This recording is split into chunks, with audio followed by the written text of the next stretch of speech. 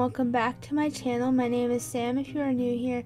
Today is a Create-a-Sim for my werewolves let's play. Um, my sims names are Ruby and Lyall and they will be our sims that we were going to explore the new pack with. I'm very excited. I, I love occults and like I don't play with them often, but when I do, it is so much fun. And I hope you have fun with me. So I did write a little backstory for them. Ruby and Lyall grew up in foster care and no one knew that they were werewolves.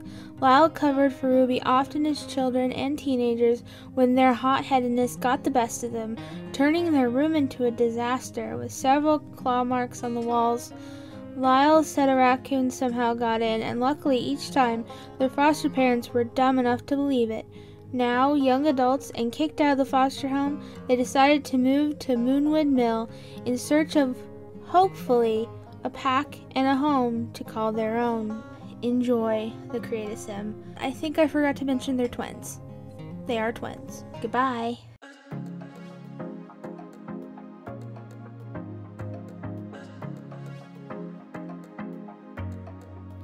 I was facing all the sunlight while our feet swung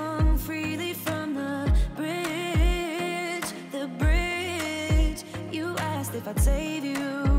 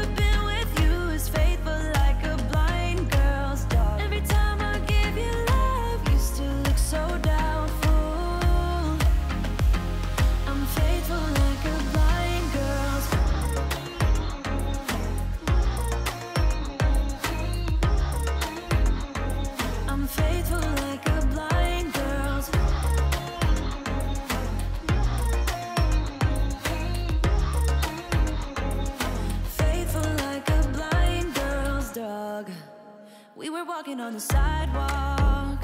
When we bumped into this person that